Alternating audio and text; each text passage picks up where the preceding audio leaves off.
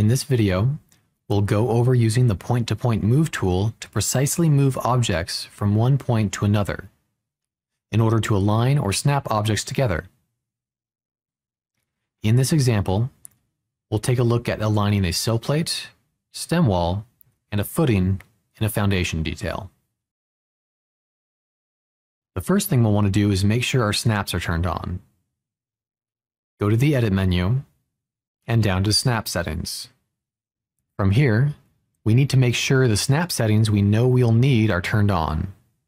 In particular, we'll likely want object snaps, endpoint, and midpoint snaps toggled on. First, click on one of the objects we want to move. On the Edit toolbar, click on the Point-to-Point -point Move tool. Next, move your mouse to a spot on the first object you want to act as a reference point until you notice one of the snap indicators show up. In this case, we want to snap the center of the wall to the center of the top edge of the footing, so we'll look for the red triangle that indicates a midpoint snap. Click, and we'll notice a line and the outline of the object start to follow our mouse.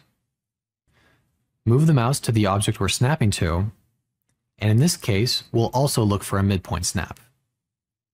Click again, and the objects should now be aligned. For the sill plate, we'll go from corner to corner. Click the sill plate, click point to point move, and hover over the corner to find the corner snap point, which should look like a red square.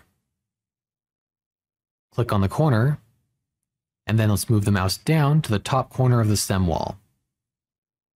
Click once more, and the sill plate will snap to the corner of the wall. We can also use angle snaps when using the point-to-point -point move tool. Select the object or objects we want to move, click on the point-to-point -point tool, click on the object, and if we hold the Shift key on our keyboard, we'll notice the line for the point-to-point -point move tool is snapping to our angle snaps. In this case, in 15 degree increments. We can use this to further control where and how we want our selected object to move.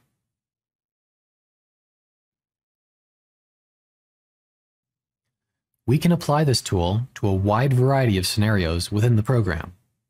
For example, we can use it to move a post to the corner of a porch,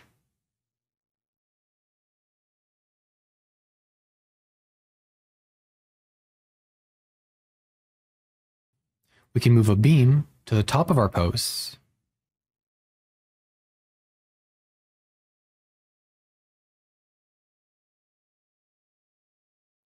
Or we can snap the side of a road to the end of a driveway.